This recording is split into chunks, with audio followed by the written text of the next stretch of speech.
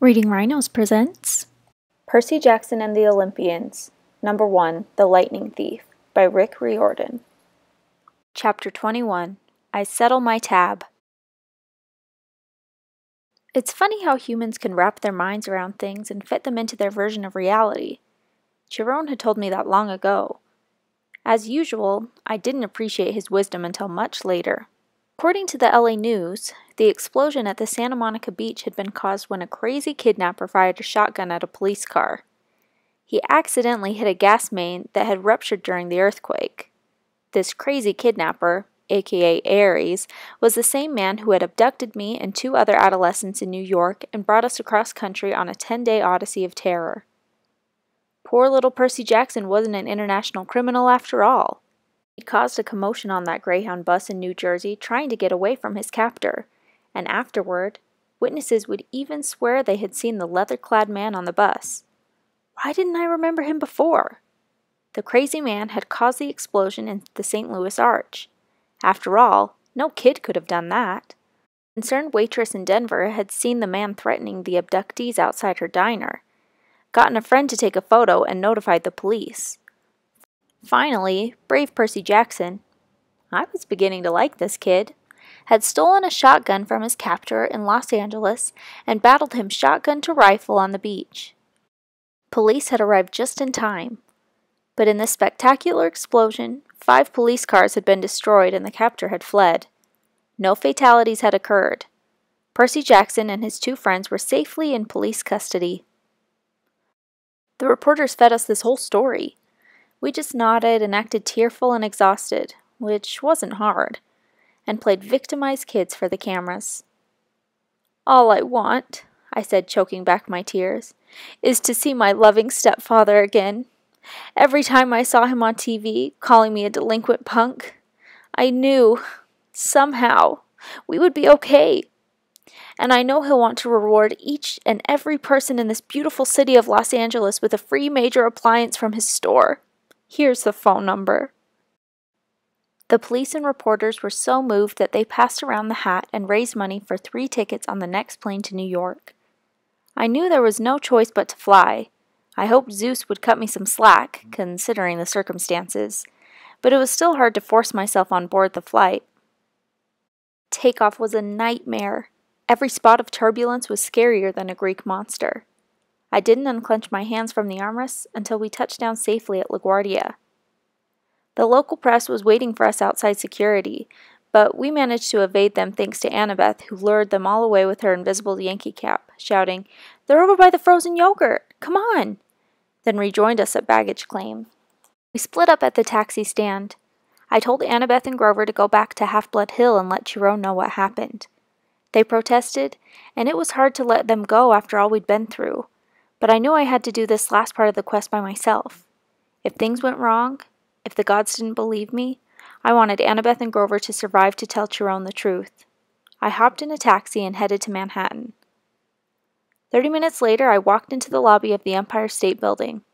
I must have looked like a homeless kid with my tattered clothes and my scraped up face. I hadn't slept in at least 24 hours. I went up to the guard at the front desk and said, 600th floor. He was reading a huge book with a picture of a wizard on the front. I wasn't much into fantasy, but the book must have been good because the guard took a while to look up. No such floor, kiddo. I need an audience with Zeus. He gave me a vacant smile. Sorry? You heard me. I was about to decide this guy was just a regular mortal, and I'd better run for it before he called the straitjacket patrol, when he said, No appointment, no audience, kiddo. Lord Zeus doesn't see anyone unannounced. Oh, I think he'll make an exception. I slipped off my backpack and unzipped the top. The guard looked inside at the metal cylinder, not getting what it was for a few seconds. Then his face went pale. That isn't. Yes, it is, I promised. You want me to take it out and. No, no! He scrambled out of his seat, fumbled around his desk for a key card, then handed it to me.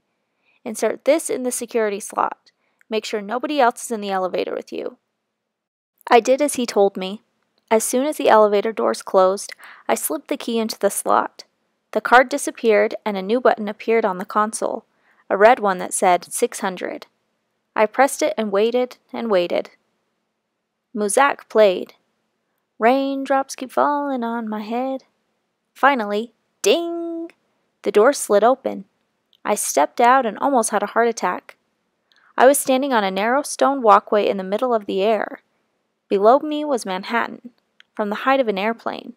In front of me, white marble steps wound up the spine of a cloud into the sky. My eyes followed the stairway to its end, where my brain just could not accept what I saw. Look again, my brain said. We're looking, my eyes insisted. It's really there.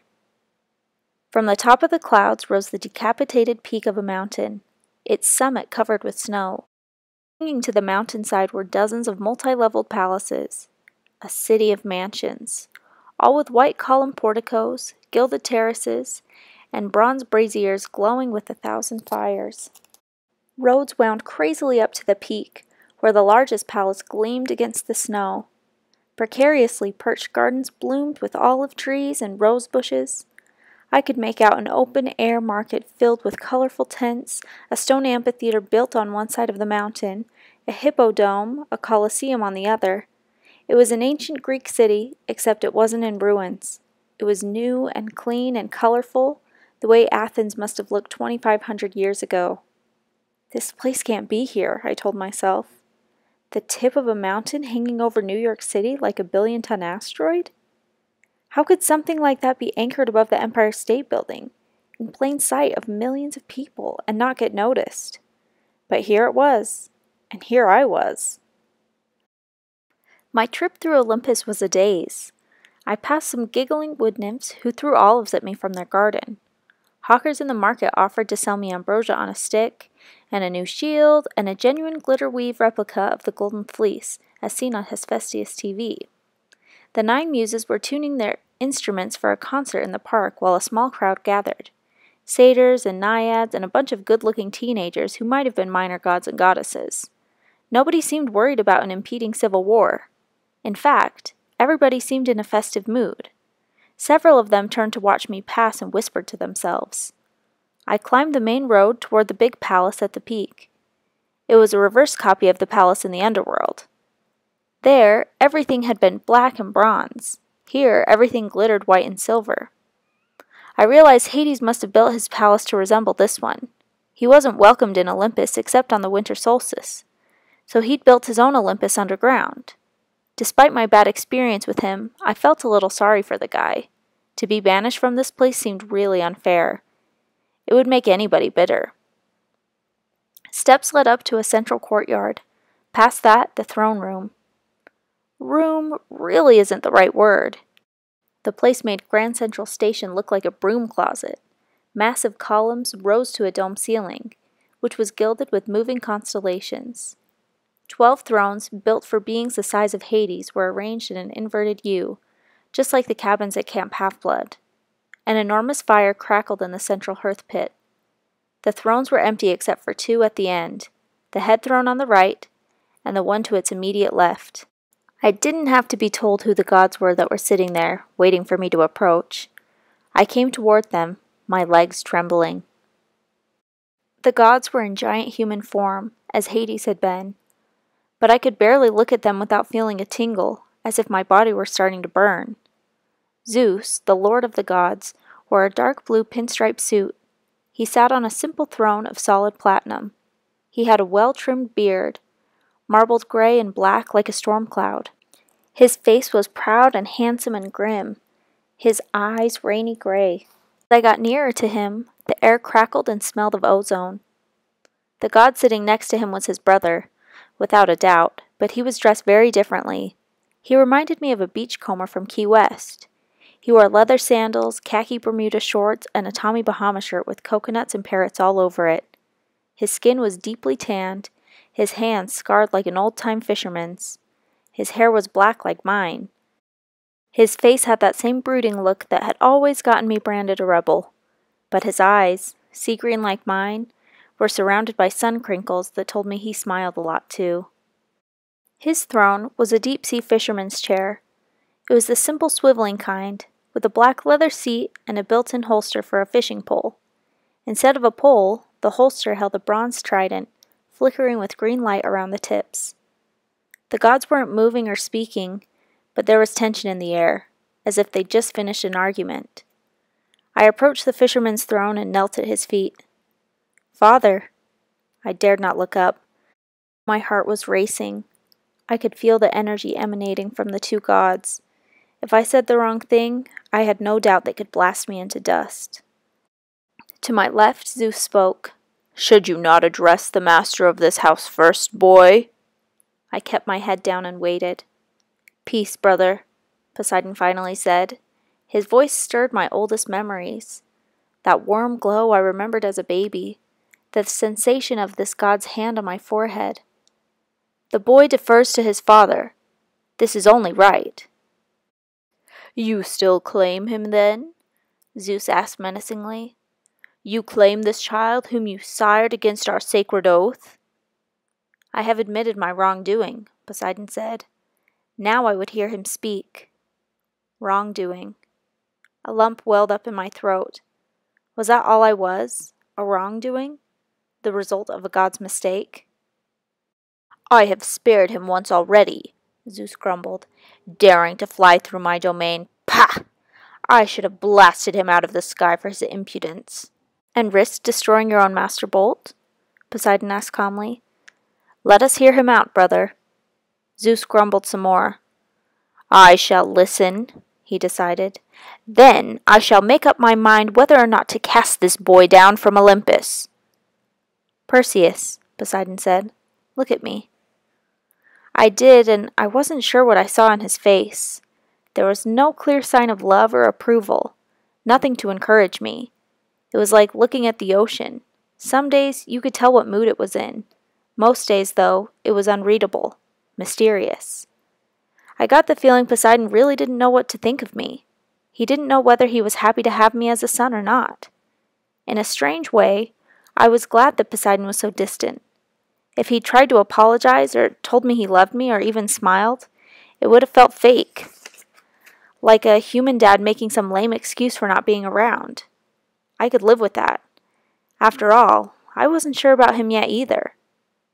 Address Lord Zeus, boy, Poseidon told me. Tell him your story. So I told Zeus everything, just as it had happened. I took out the metal cylinder, which began sparkling in the sky god's presence, and laid it at his feet. There was a long silence, broken only by the crackle of the hearth fire. Zeus opened his palm. The lightning bolt flew into it. As he closed his fists, the metallic points flared with electricity until he was holding what looked more like the classic thunderbolt a 20 foot javelin of arcing, hissing energy that made the hairs on my scalp rise. I sense the boy tells the truth, Zeus muttered. But that Ares would do such a thing. It is most unlike him. He is proud and impulsive, Poseidon said. It runs in the family. Lord? I asked. They both said, Yes. Ares didn't act alone. Something else, something else came up with the idea. I described my dreams and the feeling I'd had on the beach, that momentary breath of evil that had seemed to stop the world and made Ares back off from killing me. In the dreams, I said, the voice told me to bring the bolt to the underworld. Ares hinted that he'd been having dreams too. I think he was being used, just as I was, to start a war. You are accusing Hades, after all? Zeus asked. No, I said. I mean, Lord Zeus, I've been in the presence of Hades. This feeling on the beach was different. It was the same thing I felt when I got close to that pit. That was the entrance to Tartarus, wasn't it? Something powerful and evil is stirring down there. Something even older than the gods. Poseidon and Zeus looked at each other. They had caught a quick, intense discussion in ancient Greek. I only caught one word Father. Poseidon made some kind of suggestion, but Zeus cut him off. Poseidon tried to argue. Zeus held up his hand angrily. We'll speak of this no more. Zeus said. I must personally go to purify this thunderbolt in the waters of Lemnos, to remove the human taint from its metal. He rose and looked at me. His expression softened just a fracture of a degree. You have done me a service, boy. Few heroes could have accomplished as much. I had help, sir, I said. Grover Underwood and Annabeth Chase. To show you my thanks, I shall spare your life. I do not trust you, Perseus Jackson. I do not like what your arrival means for the future of Olympus, but for the sake of peace in the family, I shall let you live. Um, thank you, sir. Do not presume to fly again. Do not let me find you here when I return. Otherwise, you shall taste this bolt, and it shall be your last sensation. Thunder shook the palace. With a blinding flash of lightning, Zeus was gone. I was alone in the throne room with my father. Your uncle, Poseidon sighed, has always had a flair for dramatic exits. I think he would have done well as the god of theater. An uncomfortable silence. Sir, I said, what was in that pit? Poseidon regarded me. Have you not guessed? Kronos, I said, the king of the Titans. Even in the throne room of Olympus, far away from Tartarus, the name Kronos darkened the room, made the hearth fire seem not quite so warm on my back. Poseidon gripped his trident. In the first war, Percy, Zeus cut our father Kronos into a thousand pieces, just as Kronos had done to his own father, Ouranos. Zeus cast Kronos' remains into the darkest pit of Tartarus. The Titan army was scattered, their mountain fortress on Etna destroyed, their monstrous allies driven to the farthest corner of the earth. And yet Titans cannot die any more than we gods can. Whatever is left of Kronos is still alive in some hideous way, still conscious in his eternal pain, still hungering for power. He's healing, I said. He's coming back. Poseidon shook his head. From time to time over the eons, Kronos has stirred. He enters men's nightmares and breathes evil thoughts. He wakens restless monsters from the depths, but to suggest he could rise from the pit is another thing. That's what he intends, father. That's what he said. Poseidon was silent for a long time. Lord Zeus has closed discussion on this matter. He will not allow talk of Kronos. You have completed your quest, child. That is all you need to do. But, I stopped myself. Arguing would do no good.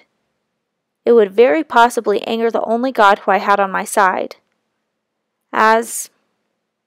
as you wish, father. A faint smile played on his lips. Obedience does not come naturally to you, does it? No, sir. I must take some blame for that, I suppose.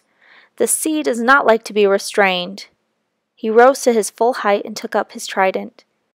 Then he shimmered and became the size of a regular man, standing directly in front of me. You must go, child. But first, know that your mother has returned. I stared at him, completely stunned. My mother? You will find her at home. Hades sent her when you recovered his helm. Even the Lord of Death pays his debts. My heart was pounding. I couldn't believe it. Do you. Would you. I wanted to ask if Poseidon would come with me to see her, but then I realized that was ridiculous. I imagined loading the god of the sea into a taxi and taking him to the Upper East Side. If he'd wanted to see my mom all these years, he would have. And there was Smelly Gabe to think about. Poseidon's eyes took on a little sadness. When you return home, Percy, you must make an important choice. You will find a package waiting in your room. A package? You will understand when you see it. No one can choose your path, Percy. You must decide. I nodded, though I didn't know what he meant. Your mother is a queen among women, Poseidon said wistfully. I had not met such a mortal woman in a thousand years. Still, I am sorry you were born, child. I have brought you a hero's fate, and a hero's fate is never happy. It is never anything but tragic. I tried not to feel hurt. Here was my own dad telling me he was sorry I'd been born. I don't mind, father. Not yet, perhaps, he said. Not yet, but it, it was an unforgivable mistake on my part. I will leave you then. I bowed awkwardly. I I won't bother you again. I was five steps away when he called, Perseus. I turned. There was a different light in his eyes, a fiery kind of pride. You did well, Perseus. Do not misunderstand me. Whatever else you do, know that you are mine. You are a true son of the sea god. As I walked back through the city of the gods, conversation stopped. The muses paused their concert. People and satyrs and naiads all turned toward me, their faces filled with respect and gratitude. And as I passed, they knelt, as if I were some kind of hero. Fifteen minutes later, still in a trance, I was back on the streets of Manhattan.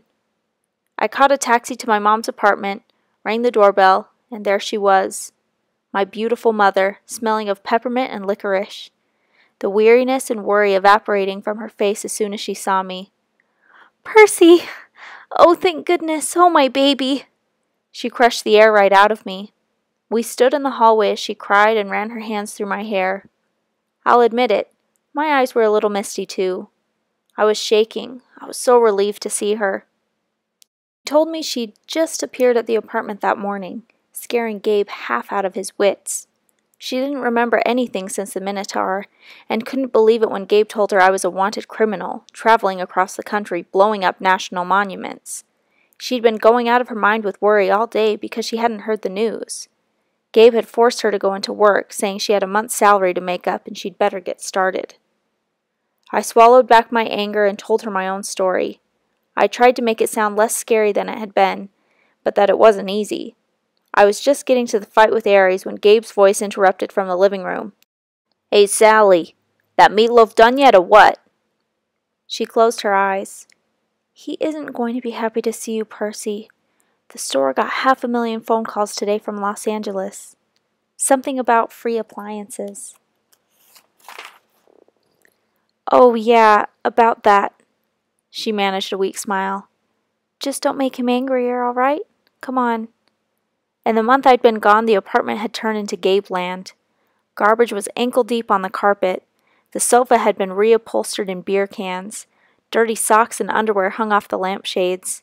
Gabe and three of his big goony friends were playing poker at the table.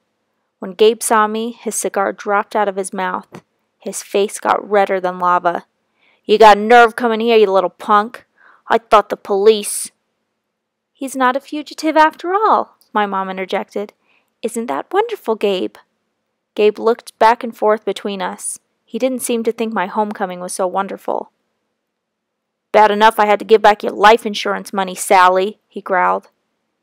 Give me that phone. I'll call the cops. Gabe, no. He raised his eyebrows. Did you just say no? You think I'm going to put up with this punk again? I can still press charges against him for ruining my Camaro. But he raised his hand and my mother flinched. For the first time, I realized something. Gabe had hit my mother. I didn't know when or how much, but I was sure he'd done it. Maybe it had been going on for years when I wasn't around. A balloon of anger started expanding in my chest. I came toward Gabe, instinctively taking my pen out of my pocket. He just laughed. What, punk? You gonna ride on me? You touch me, and you're going to jail forever, you understand? Hey, Gabe, his friend Eddie interrupted. He's just a kid. Gabe looked at him resentfully and mimicked in a falsetto voice. He's just a kid. His other friends laughed like idiots. I'll be nice to you, punk. Gabe showed me his tobacco stained teeth. I'll give you five minutes to get your stuff and clear out. After that, I call the police. Gabe, my mother pleaded. He ran away, Gabe told her. Let him stay gone. I was itching to uncap Riptide, but even if I did, the blade wouldn't hurt humans. And Gabe, by the loosest definition, was human. My mother took my arm. Percy, please. Come on, we'll go to your room. I let her pull me away, my hands still trembling with rage. My room had been completely filled with Gabe's junk. There were stacks of used car batteries, a rotting bouquet of sympathy flowers with a card from somebody who'd seen his Barbara Walters interview.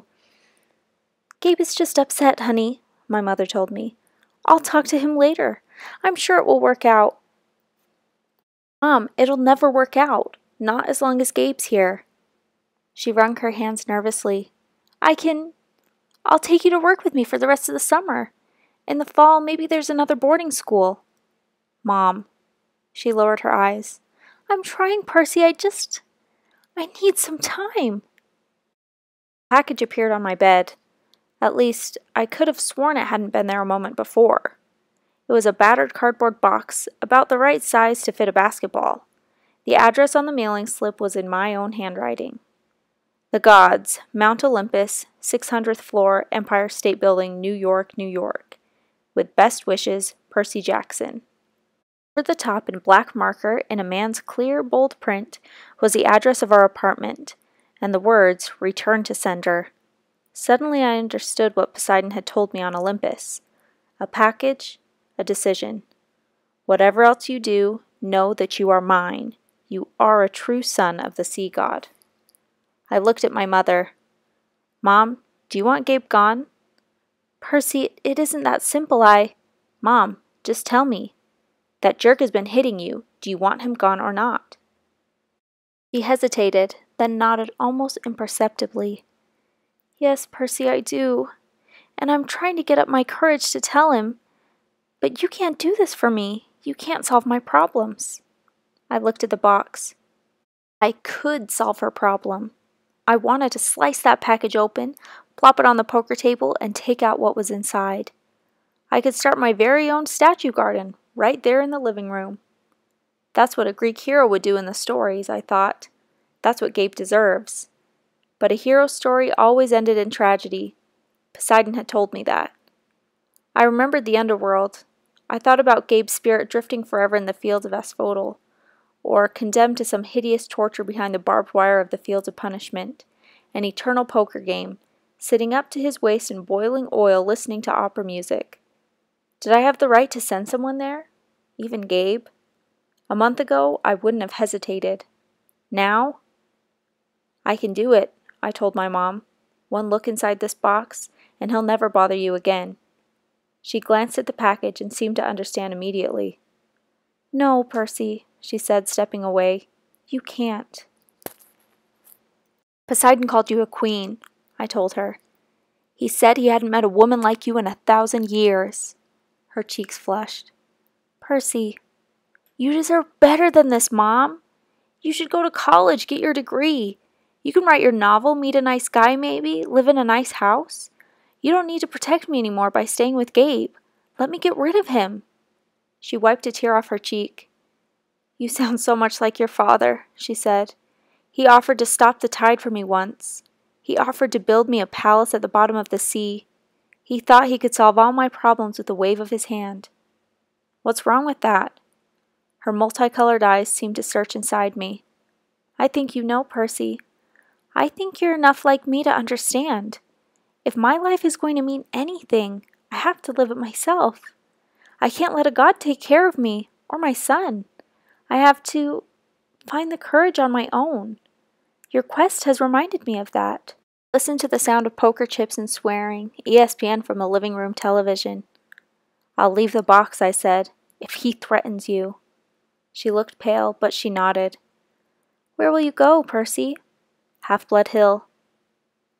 For the summer or forever? I guess that depends. We locked eyes, and I sensed that we had an agreement. We would see how things stood at the end of the summer. She kissed my forehead. You'll be a hero, Percy. You'll be the greatest of all. I took one last look around my bedroom. I had a feeling I'd never see it again. Then I walked with my mother to the front door. Leaving so soon, punk? Gabe called after me. Good riddance. I had one last twinge of doubt. How could I turn down the perfect chance to take revenge on him? I was leaving here without saving my mother. Hey, Sally, he yelled. What about that meatloaf, huh? A steely look of anger flared in my mother's eyes, and I thought just maybe I was leaving her in good hands after all. Her own. The meatloaf is coming right up, dear, she told Gabe. Meatloaf surprise! She looked at me and winked. The last thing I saw as the door swung closed was my mother staring at Gabe, as if she were contemplating how he would look as a garden statue.